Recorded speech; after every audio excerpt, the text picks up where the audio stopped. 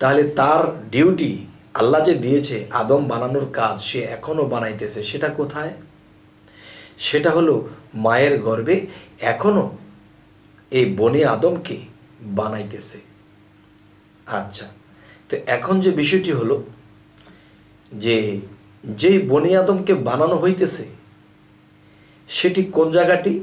যে নাবির নিচে একটি স্থান, সেই স্থানটি অন্ধকার। আর এই অন্ধকারের মধ্যে আদম তৈরির কাজ চলে, এখনও পর্যন্ত চলে। যতদিন পৃথিবীতে মানুষ জন্ম নেবে, এই কাজ চলবে। আচ্ছা আজ আমি স্বামী মালিক চিস্তি আপনাদের সামনে যে কথাটি বলতে চাচ্ছি।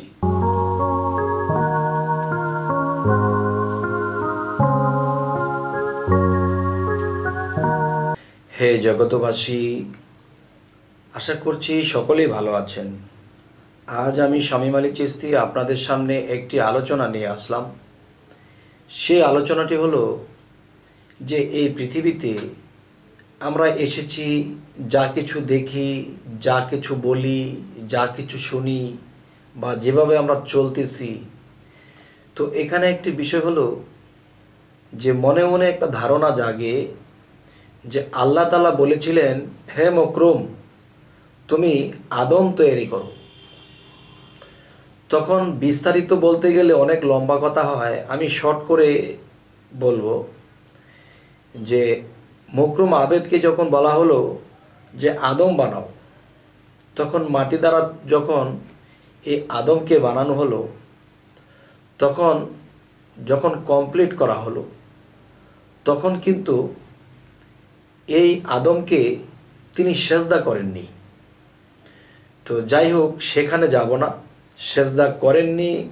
যদি করতেন, তাহলে যে ফেরেস্তারা সেজদা করেছিল, তাদের দলবদ্ধ তিনি হয়ে যাইতেন।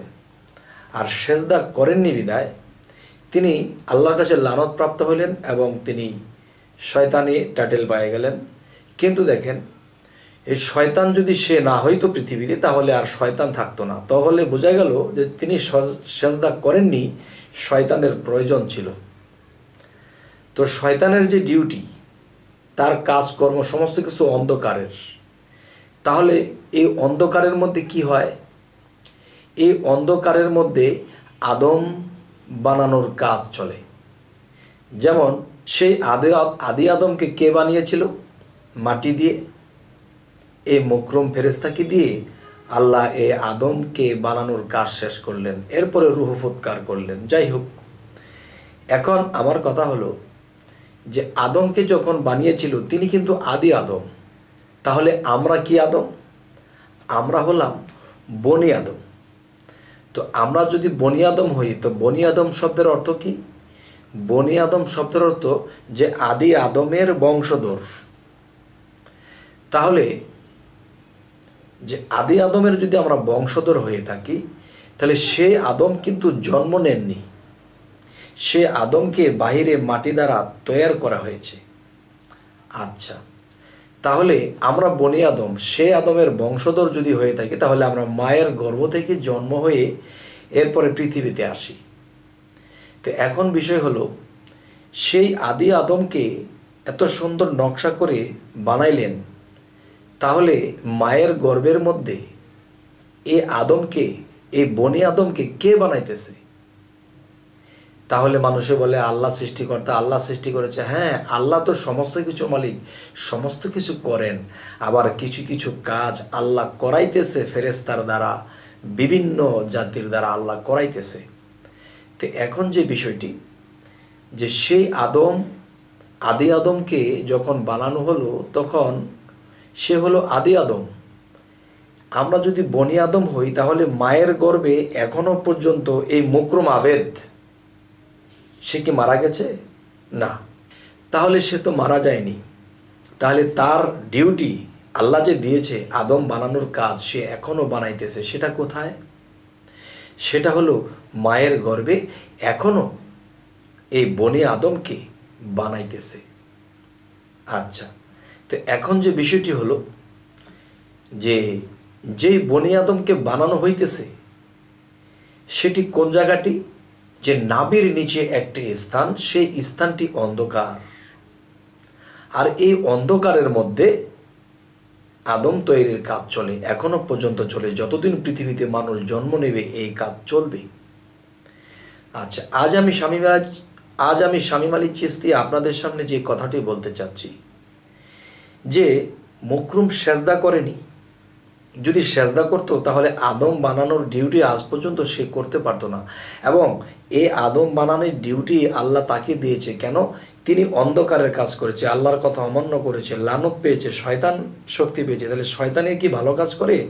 অন্ধকারের কাজ করে। তাহলে অন্ধকারের মধ্যে সে আদম বানানোর কাজ চলে। যেমন একটা বীজই যদি আমরা মাটির নিচে পুঁতে দিই, মাটির নিচে পুঁতে দেওয়ার পরে আস্তে আস্তে তার গেরা জ্বালাইতেছে এবং আস্তে আস্তে সে গা দো পাতা নিয়ে জ্বালাইতেছে। তাহলে সেটা কি? অন্ধকারের মধ্যে হইতেছে। তাহলে মায়ের গর্বে যে একটা জমিন, সেখানে এটাকে কে করতেছে? কাকে দিয়ে আল্লাহ করাইতেছেন? এই মকরুমকে দিয়ে করাইতেছেন। তাহলে আল্লাহর ফার্স্ট ক্লাস একজন কর্মচারী তিনি। যদি আল্লাহর কথা মতো সেজদা করতো, তাহলে ভালো ফেরেস্তার দলে গিয়ে আলোকিত হয়ে থাকতো। আর যেখানে আলো, সেখানে বীজ রোপণ হবে না। আর যেখানে অন্ধকার, সেখানে বীজ রোপণ হবে, তাই নারী পুরুষ সমস্ত প্রাণী জগতের দিকে যদি লক্ষ্য করি, যখন মিলন হয়, মিলনের মাধ্যমে যখন সেটা সেই জায়গাতে পড়ে, তখন সেই মুকরুমের ডিউটি শুরু হয়ে যায়। সেই মিক্রুম, মুকরুম সেখানে বসে বসে এই আদম বানানের কাজ চলে। হে জগতবাসী আজকের এই আলোচনাটি বোঝানো হইল যে আদম মূলত আমরা তিনটি প্রকারে পাই। তবে কোন আদমের মধ্যে আল্লাহ বিরাজ করে? আদি আদমের মধ্যে? না। বনি আদমের মধ্যে? না। তাহলে কোন আদমের কালবে আল্লাহ বসত করে কোন আদমের মুখ দিয়ে আল্লাহ কথা বলে? সে আদমটি হলো সুফি আদম। সুফি আদম কি? যে নিজেকে পবিত্র করল, তিনি সুফি আদম এবং সুফি আদমের কালবে আল্লাহ বসে বসে আদমের মুখ দিয়ে কথা বলে। হে জগতবাসী তাহলে আদম আমরা তিনটি ভাগে পেলাম। আদি আদম সে আদমের বংশধর বনি আদম এবং এই বনি আদম হোক বা আদি আদম হোক, যদি কেউ নিজেকে শুদ্ধ করে বা পবিত্র করে তিনি কি সুফি আদম বলা হয় এবং সেই সুফি আদমের কালবে আল্লাহ বসত করে এবং সেই কালবে বসে আল্লাহ কথা বলে যায়। যেমন আদমকে যখন বানানো হলো, সমস্ত ফেরেস্তারা ভিতরে একটা আতঙ্ক যে এই আদমকে সৃষ্টি করল আল্লাহর ফেরেস্তা আমরা আমরাই তো আল্লাহর ইবাদত করি। তখন আল্লাহ বলেছে তোমরা আমি যা জানি তোমরা তা জানো না।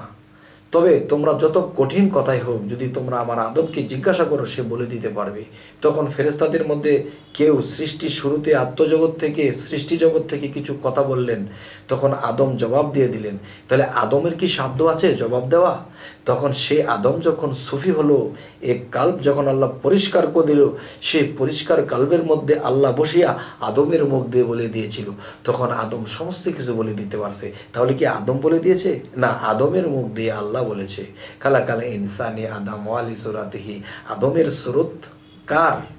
এবং সেই স্রোতের মধ্যেই আল্লাহ বারবার সেখানে যে করতেছে কারবার, কিন্তু মানুষে বুঝতেছে না, চিন্তা করতেছে আবার। হে জগতবাসী তো আদমের তয়ার কি দিয়ে, কি করে, এবং কোন কোন ভাবে এই বিষয়ে আলোচনা করা হলো? তবে আমাদের তবে আমাদের এই চ্যানেলের আলোচনা যদি আপনাদের ভালো লাগে, অবশ্যই সাবস্ক্রাইব করুন। আমাদের বাকি ভিডিওগুলো ছাড়া মাত্রই আপনাদের কাছে পৌঁছে যাবে। তো সকলেই ভালো থাকবেন। আজ এই বলেই রাখছি। আল্লাহ হাফিজ।